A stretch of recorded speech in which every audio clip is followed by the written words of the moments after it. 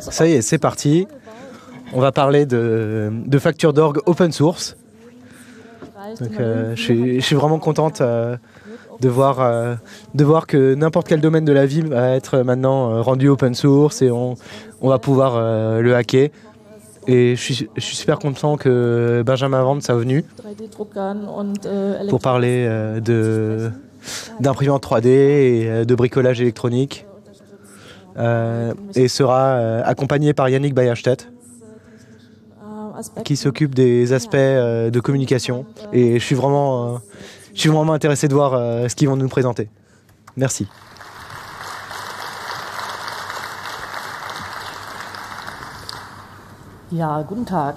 Bonjour. C'est bien que, que, vous nous écoutiez encore ce dernier jour. Donc la plupart des gens se, présentent se représentent sûrement un orgue comme ça. Mais euh, dans un hackerspace, euh, on pensait plutôt euh, faire ce genre, de, ce, genre de choses et on pourrait peut-être même mettre ça sur roulette. Et, et je me, je me représentais pas faire ça moi-même. Mais par contre, si un, si un hackerspace décide de le faire, bah, je veux bien en faire partie. D'abord, quelques définitions. Qu'est-ce que c'est un orgue? Donc il faut que les données, les données arrivent. Donc l'air comprimé doit arriver ainsi que les données. Et euh, donc euh, il faut faut, faut d'une certaine façon les, euh, les mettre ensemble, donc combiner l'air comprimé et les données. Et ensuite, il y, a une, y a une zone grise. C'est est-ce qu'un harmonium, c'est un orgue? Donc ça, c'est une zone grise. Je ne vais pas répondre à la question. On pourrait aussi, on pourrait aussi donner encore une définition plus large de l'orgue, qui, qui serait une machine qui qui produit des sons continus, pas percussifs. Euh, auquel cas, euh, un orgamonde serait aussi un orgue. Euh, donc je vais je vais pas forcément dire que c'est que c'est forcément avec un clavier parce qu'on pourrait aussi penser à une vielle et on pourrait on pourrait dire que qu'une vielle c'est aussi un orgue d'une certaine façon. Donc ici on voit quelques quelques tuyaux typiques d'un orgue euh, donc euh, le numéro 14 par exemple euh, sont, des, sont des tuyaux à hanche. non, à, bouche pardon. Donc qui fonctionnent un peu comme une, comme une clarinette. Il y a aussi une partie un peu, un peu plus spécifique pour les personnes qui, qui cherchent des choses plus originaux. donc vous pouvez regarder Vox Maris qui utilise beaucoup plus de pression. Et donc avec quelques exceptions, on peut, on peut dire que, qu'un, instrument comme ça a toujours un générateur et un résonateur. Donc euh, le, résonateur c'est le tuyau et euh, le générateur c'est ce qui envoie l'air euh, comprimé. Donc par exemple avec un, un tuyau à bouche, bah, on, va avoir, on va avoir des espèces de lèvres qui vont générer le son. Avec, avec un tuyau d'anche, bah, ça sera l'anche, etc. Et donc euh, chacun, chacun de ces tuyaux va, sonner un peu différemment. Donc avec mes propres euh, conceptions, je suis, je suis toujours parti du principe que, qu'on, met, un, met un tuyau. Et euh, donc chacun de ces tuyaux est paramétrique. Et donc il faut, faut choisir ses, valeurs. Euh, ensuite, on peut, on peut euh, l'exporter en STL. Euh, et, donc l'imprimer en 3D. Donc avec FreeCAD, il y a, une feuille de calcul. Mais avec OpenSCAD, par exemple, c'est du code source dans lequel on peut mettre ses valeurs. Donc voilà, voilà une coupe très schématique d'un tuyau d'orgue. Donc que ce soit un tuyau à, bouche ou, ou à hanche. Donc euh, il y a toujours des petites différences, mais en gros, euh, il y a, y a 99% des, tuyaux qui ressemblent à ça en gros. Donc euh, il y, a, des questions aussi de, rendu pratique du travail. Donc ces, tuyaux sont, sont, souvent faits, faits en, tôle. Euh, euh, et, qui, sont, qui soudés.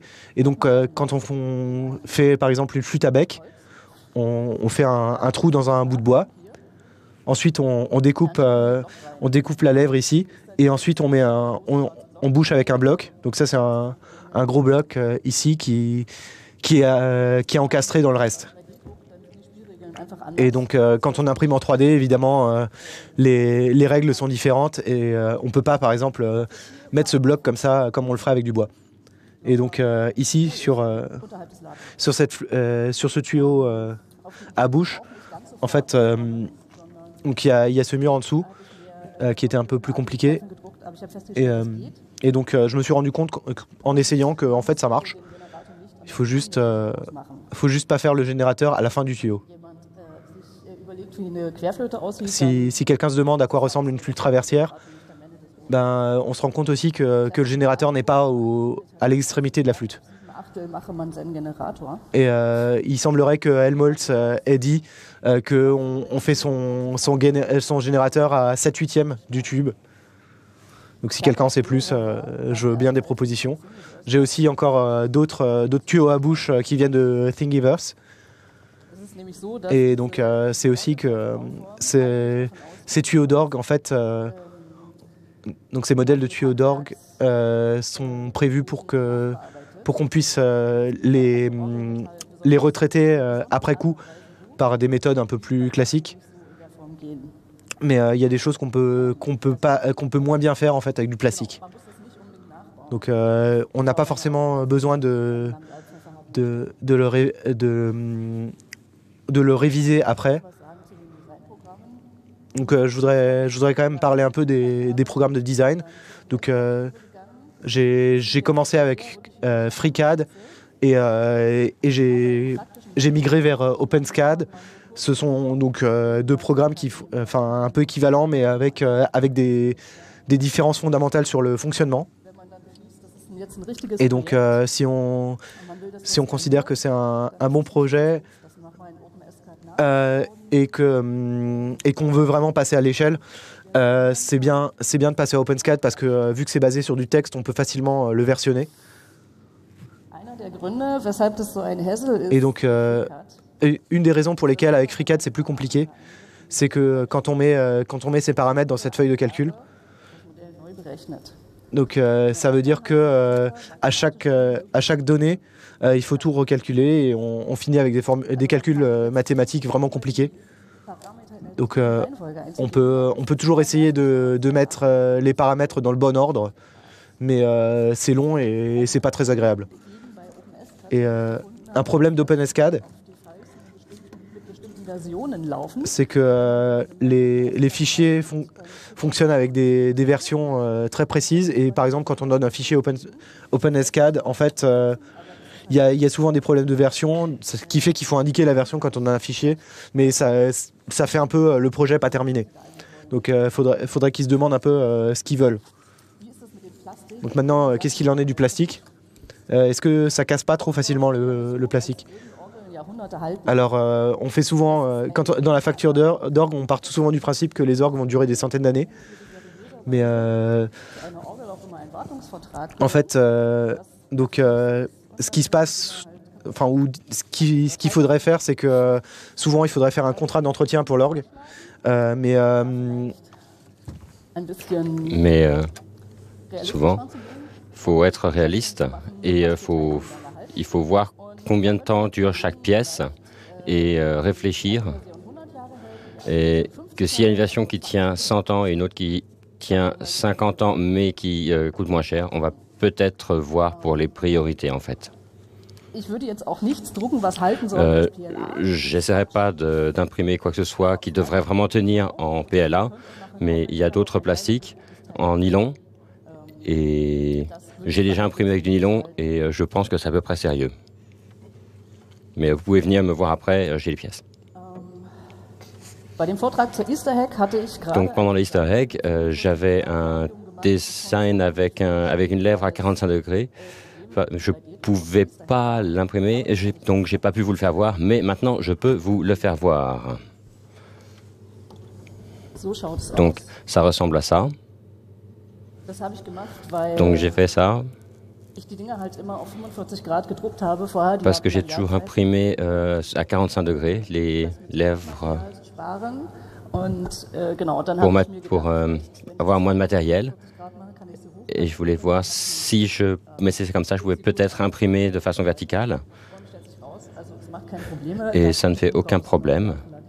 Et le, le son sort très bien, comme on l'entend. J'ai pas pu, euh, j'entends pas de différence euh, selon qu'on le fait à 45 degrés ou euh, horizontal. Sinon, au printemps, j'ai essayé avec qu'on voit avec un tuyau à, bout, à hanche, tuyau d'ange, mais je voulais en reparler parce que j'ai toujours le projet de faire un prototype avec euh, la dynamique correcte comme sur le piano. Donc avec euh, une dynamique de, de, clavier, euh, que quand on appuie plus fort sur la touche, ça, ça sort plus, plus rapidement, plus fort. Donc ça, c'est un piano. Pour tous ceux qui ne sont pas musiciens.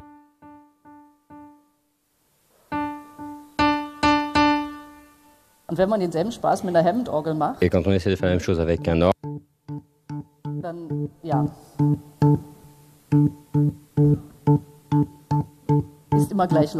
c'est toujours euh, le, même, euh, le même volume. Um, Donc je vais euh, faire voir le spectrogramme. La dernière fois, je ne l'ai pas bien fait au Easter egg. Donc les traits en bas, c'est ce qu'on entend et ce qui est au-dessus, ce sont les harmoniques. Donc, euh, quand on siffle, il n'y a pas beaucoup d'harmoniques, mais quand on chante, si. Vous voyez les, les traits. C'est très amusant lorsqu'on fait, quand on fabrique des, des instruments de musique en amateur on peut voir, on a aussi un, retour visuel de ce qu'on est en train de faire. Euh, où est-ce que j'avais fait la, où est-ce que j'ai la pipe, le tuyau d'orgue? Donc celle que j'avais tout à l'heure.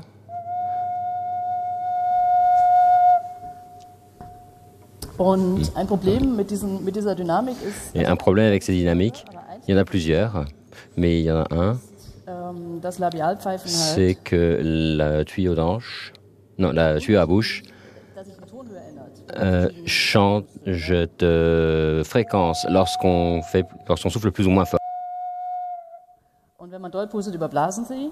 Et lorsqu'on souffle trop fort. C'est pour ça euh, qu'on ne peut pas vraiment jouer avec la force du vent qu'on souffle dedans. C'est pour ça que j'ai j'ai fabriqué une tuyau d'anche et lorsque je souffle plus fort, on peut voir sur le spectre que les harmoniques sont plus riches.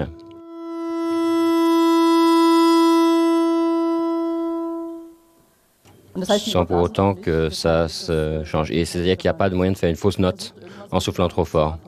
Donc on peut jouer avec la dynamique. Potentiellement, c'est aussi pour euh, un registre à haute pression. Euh, les, les, tuyaux à bouche que j'ai faits sont contents avec 40, 50 centimètres, millimètres d'eau. Ah, le, le millimètre d'eau, de colonne d'eau. Donc il y a ce jeu, ce jouet, qui est là. On voit ça sur la caméra. Donc c'est un essai de faire un ladder. Qu'est-ce que c'est? Quand on fabrique un orgue, c'est du travail. Il y a des gens qui fabriquent des, euh, des tuyaux, il y en a d'autres qui font, qui donnent des, qui essaient de les accorder, et il y a quelqu'un qui, donc celui qui va accorder les tuyaux, va avoir un objet pour les accorder. Donc on va pouvoir l'essayer. Pourquoi est-ce qu'on souffle pas simplement dedans? Non, on ne le fait pas parce que, premièrement, parce que dans le métal, il y a du plomb. Donc on va essayer. Sinon, il va falloir qu'on prenne de l'eau. Non, il peut pas souffler. ça ne marche pas. Les, les tuyaux d'orgue ont toujours une pression spécifique.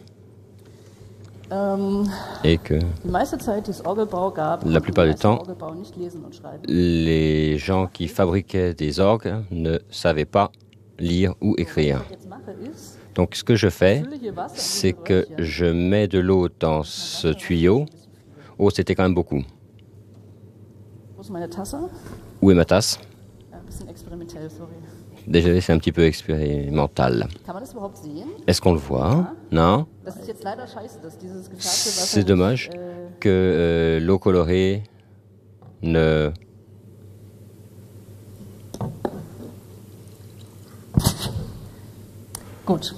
Bon. Donc au moins, il y a une, euh, il y a une quantité correcte. On voit sur la vidéo à peu près? Oui, bon. Alors, ici? Ah, oh, ah. Maintenant, on a de l'eau. Bon, on va faire de, on va faire avec de l'eau colorée parce que sinon c'est un peu, euh, c'est un peu pourri en fait. Donc tout ressort. Désolé.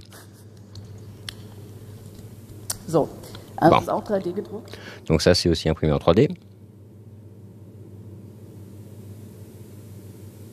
Ah, et... So, noch ein bisschen. Also Encore un petit peu, jusqu'à peu près à la moitié. Donc je propose la moitié.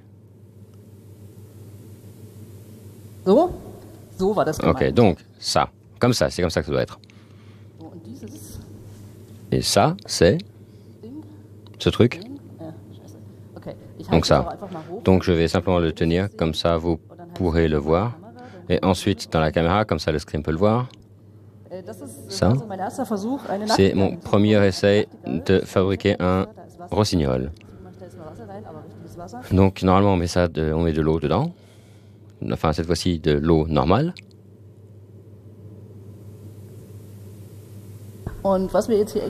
Et donc, ce qu'on va essayer de faire, c'est...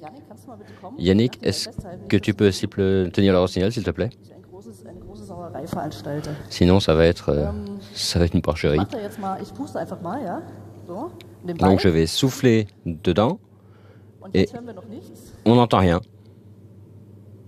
Il y a des touches comme un, comme un piano, en plus petit, et donc on entend le son.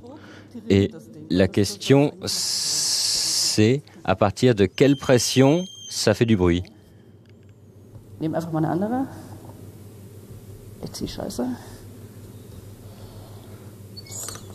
Hm.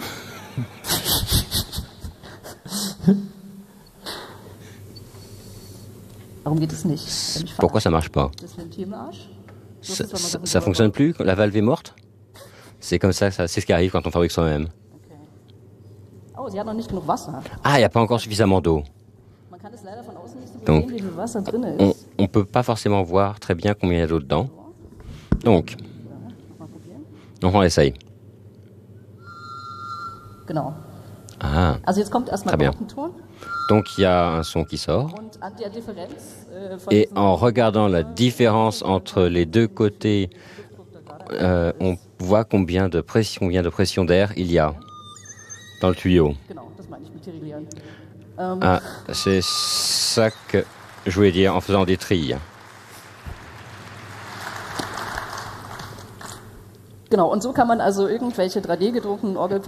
Et c'est comme ça qu'on peut tester des tuyaux d'orgue. C'est comme ça que ça marche.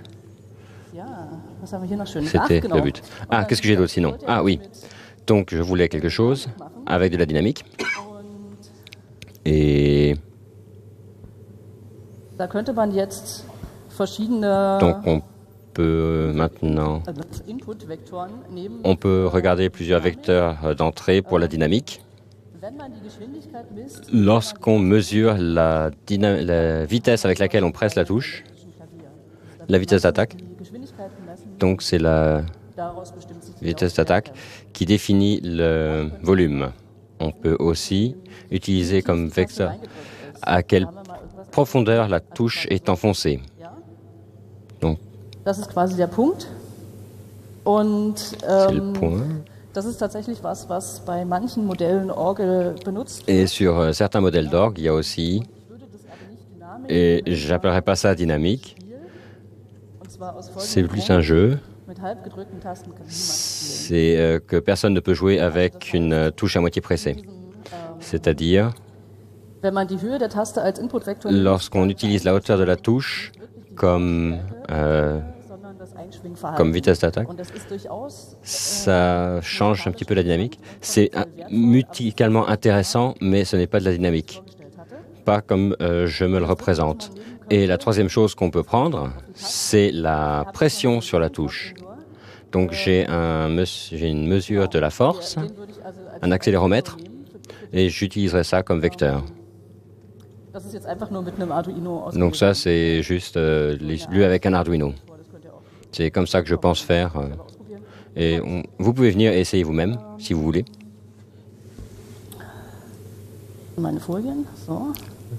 Donc, mais présentation, on n'a pas non seulement besoin d'un capteur, mais aussi d'un acteur, et beaucoup. Donc ça, ce sont les valves dans le sommier. Donc il y a, on voit les, les valves, il y a des ressorts dedans. Schnell entschieden, weil ich da relativ viel 3D drucken konnte. Euh, J'aime bien la forme parce que je peux bien l'imprimer. Weiß nicht, wollte ich einfach mal machen. Et je voulais simplement essayer. Yannick wollte sich Et äh, Yannick voulait depuis longtemps euh, jouer avec les acteurs et le statut, ça a été longtemps, peut-être. Mais lorsqu'il a vu ça, ça, ça a commencé à avancer et c'est là que je lui donne, que, je passe la main. Alors, est-ce qu'on échange les places? Oui, on peut faire ça. Alors, le problème, c'est que on a besoin d'une certaine façon de valves qui sont pas trop chères, parce qu'il en faut beaucoup, et donc ça peut devenir assez vite euh, très cher. Et euh, il faut aussi euh, actionner ces, valves. Et, et, donc, il faut, faut des mécanismes avec, avec une quille qu'on met dans une autre quille ou des, des choses comme ça. Et, et ensuite, il faut un mécanisme pour la touche. Et donc, c'est là que j'ai commencé à travailler. Et donc, euh, pour l'action, il faut, faut donc, euh, faut donc actionner en, fonction de la position. Donc, il faut que, que euh, l'utilisateur connaisse la position.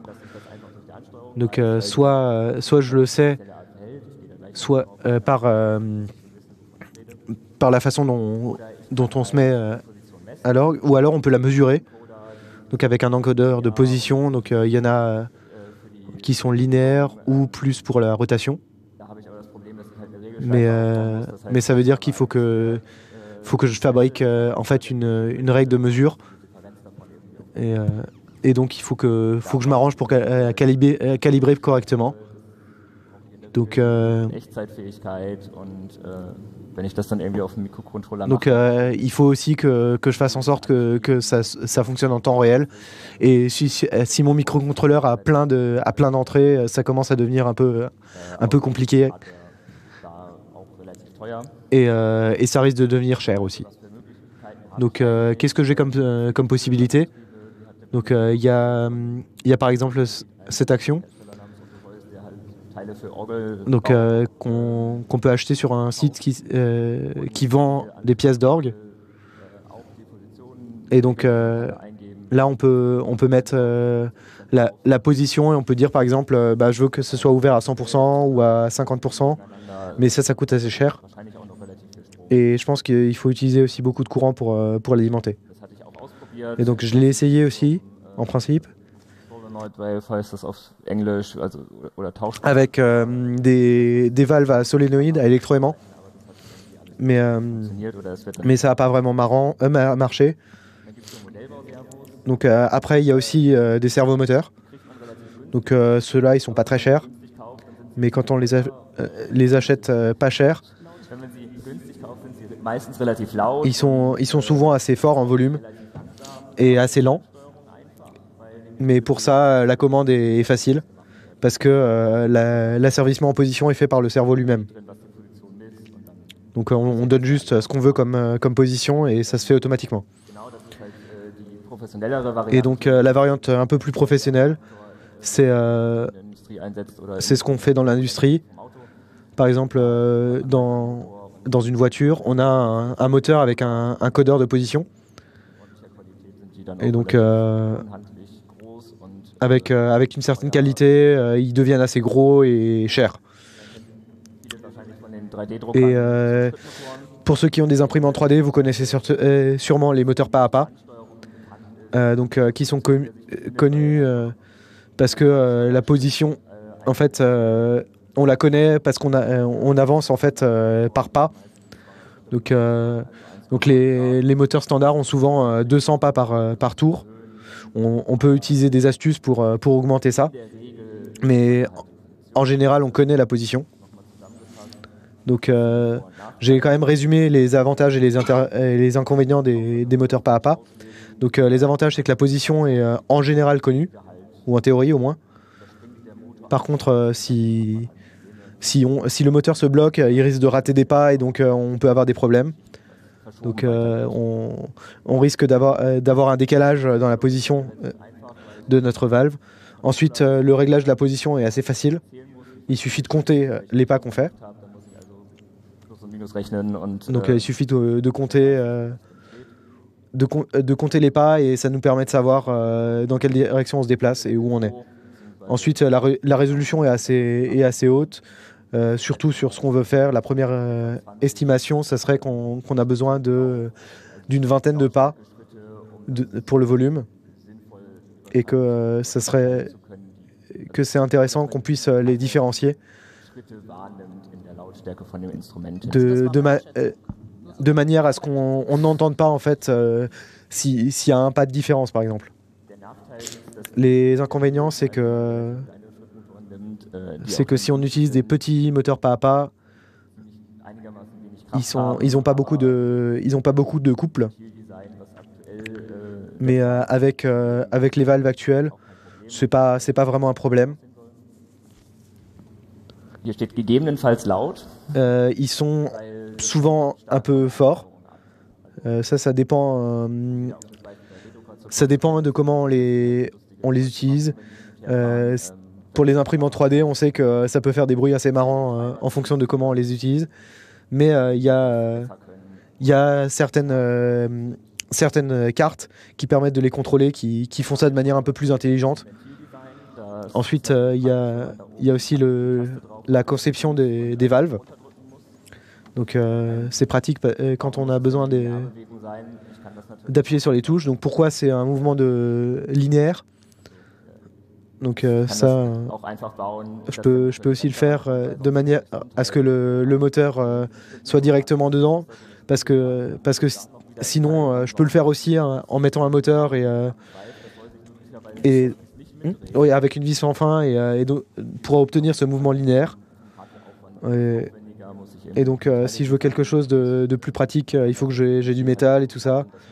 Mais euh, je peux aussi faire en sorte que, que mes valves soient, utilisent la rotation et comme ça, je peux juste euh, directement mettre mon moteur et, euh, et contrôler la valve. Et dans ce cas-là, euh, j'ai un, réglage donc sur un angle de 90 degrés. Et donc, on, peut, on peut choisir à quel point on veut, on veut travailler ça. Mais il faut aussi, faut aussi sa- s'assurer qu'on puisse, qu'on puisse changer suffisamment vite parce que le moteur a besoin d'un certain temps pour tourner. Donc maintenant, la commande. Das ist relativ klar, nimmt man halt einen Mikrocontroller für. Der Donc euh, pour la commande, on utilise un microcontrôleur. C'est une petite puce qui est dédiée euh, à ce genre de choses. Par euh, moteur pas à pas, j'ai besoin de trois euh, liaisons. Donc le step, le pas, ich einfach von 0 auf 1 und wieder zurückwechsel und C'est- euh, une liaison où euh, quand je change euh, la valeur, ça euh, fait un pas. Ensuite, je choisis la direction avec la liaison de direction. irgendwo steht, wenn ich das Gerät anschalte. Also brauche ich noch einen Endschalter, ähm, wo ich dann halt kontrolliert hinfahren kann. Et und, on a besoin aussi d'une liaison pour euh, la fin euh, du moteur, donc euh, quand il est en position 0, quand la valve est complètement fermée. Donc j'ai besoin de beaucoup de liaisons, mais il y a aussi des euh, contrôleurs avec beaucoup euh, d'IO. Um die 100 GPIO-Pins. die da Les détails sont pas vraiment intéressants, mais euh, la platine que j'ai a une centaine de liaisons, donc je peux déjà commander une bonne quantité de valves avec. Un octave, par exemple, a 12, euh, 12 tons, 12 demi-tons. Euh, et donc, si je veux avoir deux octaves, j'ai besoin de commander 24 valves. beziehungsweise 30 möglich. Ich habe jetzt noch nicht geguckt, ob das alles genauso hinhaut. Donc, euh, par euh, platine que j'ai, je peux à peu près commander une trentaine de valves ou une trentaine de tuyaux. Donc, euh, pour résumer, on a une valve, on a une commande, on a le moteur pas à pas, on a notre platine pour commander tout ça, mais il nous faut aussi euh, réussir à amener les données depuis le clavier jusqu'à ces platines ou euh, quelque chose d'autre qu'un clavier. Ça peut être par exemple comme une, un orgue de barbarie, euh, un papier à trous ou des fichiers MIDI ou des choses comme ça. Les fichiers MIDI, c'est parce que c'est le standard générique euh, qu'on utilise pour enregistrer ce que quelque chose a entré dans un clavier. Et ensuite, ce fichier MIDI, on peut l'envoyer à un autre programme ou à un, instrument euh, en dur. Et donc, par exemple, comme cet orgue. Euh, donc, pour l'instant, on utilise du MIDI. Ça passe par la euh, liaison sérielle euh, du contrôleur. Dem C'est äh, asynchrone. Ça dépend un peu, de comment c'est implémenté, mais c'est pas vraiment euh, très important, mais c'est très simple à utiliser. MIDI peut faire un peu plus de choses, mais ce qui nous intéresse, c'est des commandes qui ont trois octets. Le premier octet, le premier octet contient ce qu'il y a à faire, donc par exemple allumer ou éteindre une note. Ensuite, le deuxième octet, c'est la hauteur de la note. Et euh, le troisième octet, c'est la vitesse d'attaque. C'est ce qu'on va utiliser pour euh, la puissance euh, de la note. Ce qui serait mieux, ça serait d'utiliser Open Sound Control, OSC, euh, parce que ça peut passer par de l'Ethernet, donc par des câbles réseau. Euh, ça passe en général par de l'UDP, ou de l'IP. L'avantage, ça serait que si on a vraiment un gros orgue avec plusieurs contrôleurs sur euh, la sortie, donc si on a beaucoup de cartes, on peut utiliser des câbles Ethernet, euh, ce qui est beaucoup plus simple à utiliser que de utiliser des longs câbles sériels. Euh, et si je veux en plus utiliser plusieurs claviers ou plusieurs euh, appareils en entrée, ça me permet aussi d'utiliser tout ça avec un switch et de l'Ethernet. et OSC, OSC euh, a encore un peu plus de euh, features de données qui peuvent aller dans une note, par exemple, de changer la dynamique euh, dans une note ou des choses comme ça. C3 bis C5 oder so und äh, dann reagiert es halt auf die Eingaben, die da über Netzwerk kommen und auf alle anderen halt eben nicht. Et ça permet aussi de segmenter les euh, différents contrôleurs que j'ai. Donc par exemple, dire à un contrôleur, tu ne connais que les notes qui vont du Do 3 jusqu'au Do 5 et de ne pas réagir aux autres notes qui arrivent. Donc on a une petite démonstration. Euh, on a hacké ça un peu dans les derniers jours, c'est pas encore tout à fait fini. J'aurais aimé que ça sonne et qu'on aurait pu le faire jouer avec les moteurs dans cet autre orgue, mais on a oublié, j'ai oublié le générateur d'air comprimé à la maison. Donc, on va avoir juste les moteurs qui vont être contrôlés et on ne va pas avoir de flûtes qui seront accrochées, donc ça ne va pas faire de son en soi-même. Voilà, donc ça c'est... On, voit éventuellement beaucoup, beaucoup de câbles. Voilà, c'est ce qui arrive. C'est ce qui arrive quand on fait un prototype. On a un breadboard et on met beaucoup, beaucoup de câbles dedans pour essayer de voir un peu comment ça fonctionne.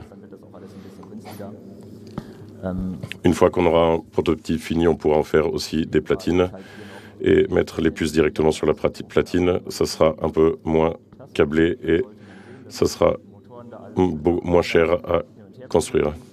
Donc quand j'appuie sur les, sur les touches, vous voyez que euh, les moteurs tournent, donc ça ouvrirait les valves. Je peux aussi mettre la euh, chanson Free Software. Et on voit que si on met juste à 90 degrés, euh, ça va relativement vite. C'est ce à quoi, c'est pour ça qu'on s'était euh, arrêté à 90 degrés. Si quelqu'un est intéressé par comment on est arrivé à ces valeurs, venez me voir après le talk.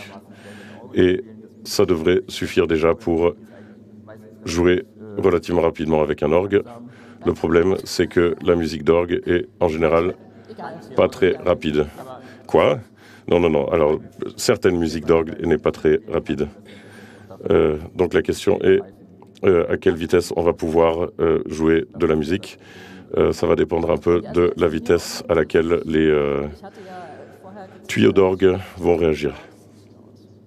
Et vous ne l'entendez pas, mais les moteurs pas à pas ne sont pas très bruyants. je m'étais trompé tout à l'heure en disant que les moteurs pas à pas étaient bruyants. On ne les entend pas vraiment. Même si on met un coffre de résonance par-dessus, donc euh, par exemple euh, le coffret en bois, ça ne fait pas beaucoup de bruit, donc ça ne devrait pas être un problème. Et on en est arrivé à la fin de cette présentation. Euh, si on a du temps, on peut faire une session de questions-réponses.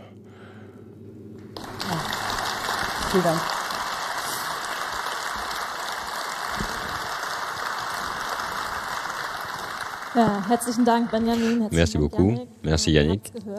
Merci Benjamin. Donc euh, vous pouvez aller au microphone, microphone 1. Bonjour. Euh, qu'est-ce qui...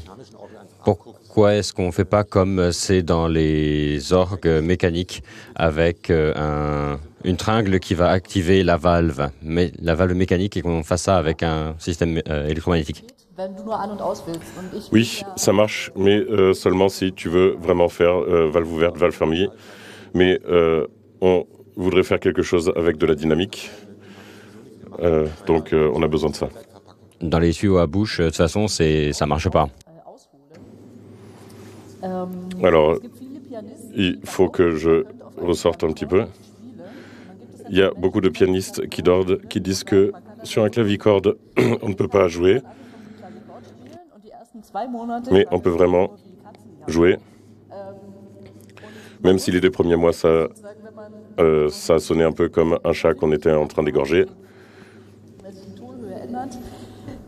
Si on a un actuateur euh, un peu euh, sensible comme ça, ça ne veut pas dire qu'on ne peut pas s'en servir, mais c'est quelque chose qu'on doit apprendre et que le pianiste ou l'organiste doit apprendre. Euh, et que on ne peut pas jouer tout avec, mais qu'on peut quand même, euh, même avec des tuyaux à bouche, faire quelque chose avec euh, de la dynamique.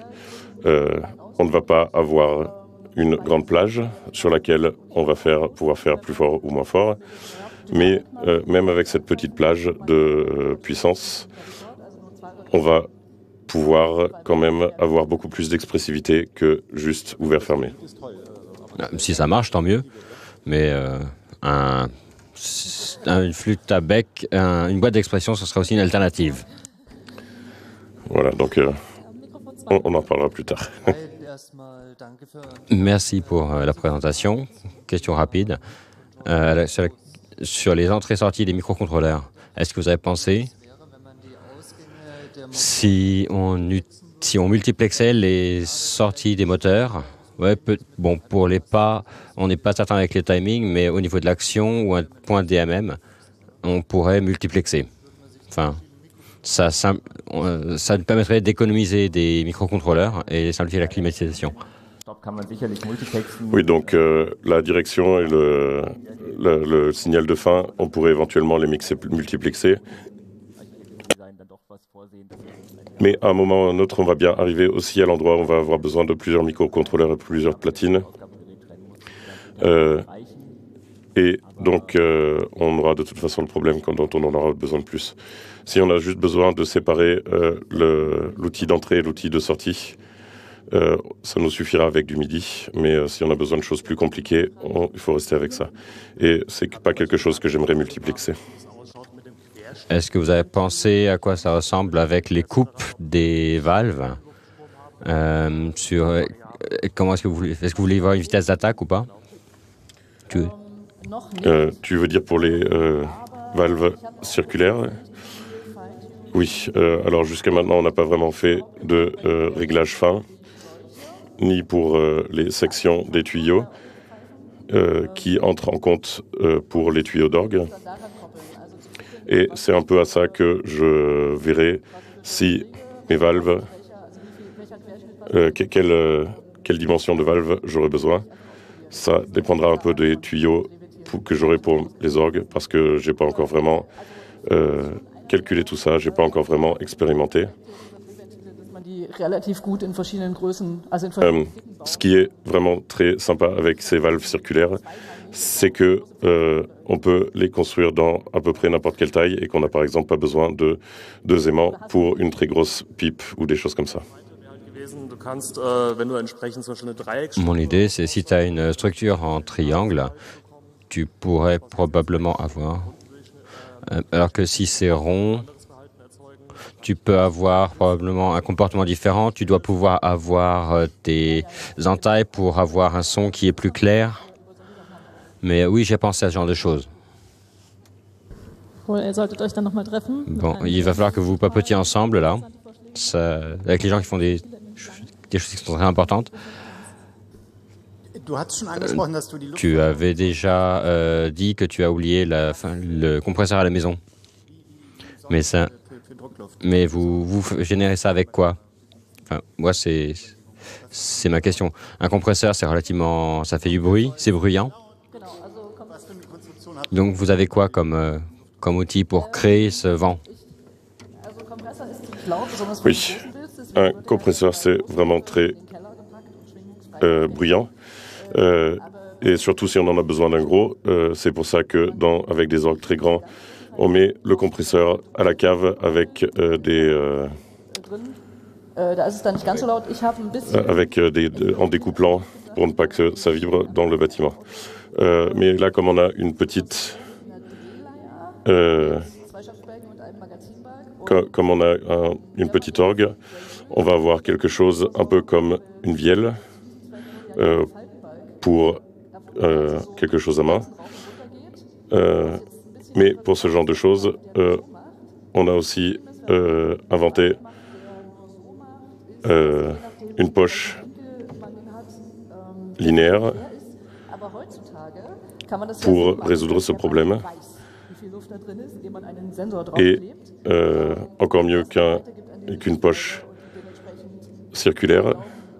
Euh, mais aujourd'hui, on peut aussi avoir un capteur dedans euh, qui sait combien il y a d'air dedans et qui pourrait aussi utiliser euh, une poche simple euh, qui saura combien il y a d'air dedans et qui pourra se réguler un peu elle-même pour avoir une sortie constante. Et on construit ça euh, plus ou moins en plastique avec des roulements à billes de skateboard parce qu'ils sont pas chers, tout simplement. Et à cet endroit-là, c'est vraiment le moteur, l'objet le, plus euh, bruyant. Euh, mais j'ai pas encore vraiment cherché à optimiser ça.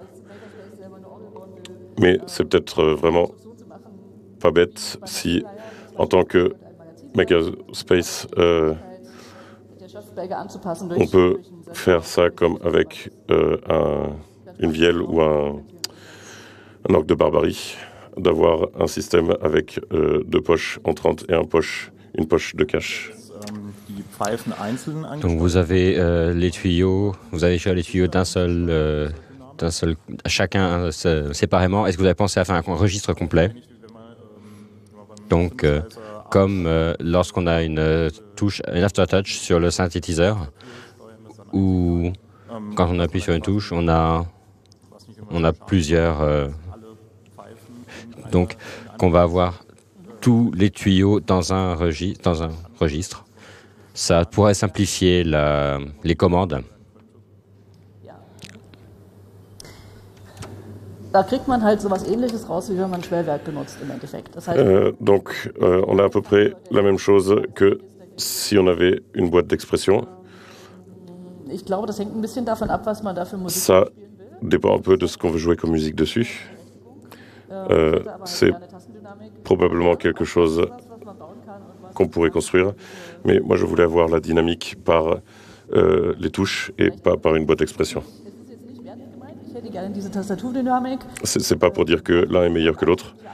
Euh, moi, j'aimerais bien avoir de la dynamique sur les touches.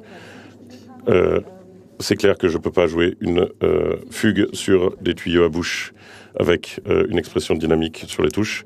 Euh, moi, j'aimerais avoir ça. Je sais qu'il y a plein de gens qui veulent avoir d'autres choses, mais moi, c'est ce que j'aimerais construire. Vous, avez utilisé quoi pour euh, visualiser le, spectre dynamique? C'est FFF. avec euh, FMPEG quelque chose. Euh, la commande exacte est sur le site, sur le Farplan. Pour, Mac et Linux, en tout cas, ça y est. Et si tu le copies directement dans euh, ton terminal, ça devrait marcher directement. Sinon, demande à un nerd, il devrait y en avoir assez qui devrait pouvoir t'aider. Oui, beliebig euh, on peut toujours fabriquer les orgues de façon la plus compliquée possible. Euh, vous avez le, vous voulez beaucoup de, de, de vitesse d'attaque, mais est-ce que vous voulez avoir plusieurs registres? Donc euh, avec, euh, enfin avoir les, les complexités sur une autre dimension. Moi, j'aimerais bien voir avoir un acteur sous chaque euh, tuyau. C'est pour ça que vraiment la question est comment est-ce qu'on arrive à le, faire assez peu cher pour en avoir sous chaque tuyau. Et j'aimerais déjà avoir un tuyau, un prototype euh, sur lequel on puisse jouer quelque chose. Donc, euh, par exemple, avec deux octaves et deux registres, avec un tuyau à bouche, un tuyau d'anche, euh, un, registre à hanche et un registre à bouche, pour pouvoir déjà montrer pourquoi j'aimerais faire ça. Et euh, avoir pour ça un acteur pour chaque tuyau. Euh, et ensuite, chacun pourra décider comment chacun voudra construire ça. Chacun pourra décider euh, la complexité et les sous qu'il voudra mettre dessus. Euh, perso, j'ai pas euh, prévu de construire plus qu'un prototype parce que de toute façon, j'ai pas la place de le mettre. Mais est-ce que ça répond à ta question? Apparemment, oui. Donc, documentez vos orgues correctement pour que tout le monde puisse voir ce que vous avez fait et éventuellement euh, rajouter leurs autres, leurs propres, les, les pro- les choses qu'ils ont fait eux-mêmes. Genau, dann äh, danke ich euch ganz herzlich. Danke für Merci, merci pour vos questions. Euh, si vous avez construit les orgues, euh, ramenez-les ramenez-les l'an prochain.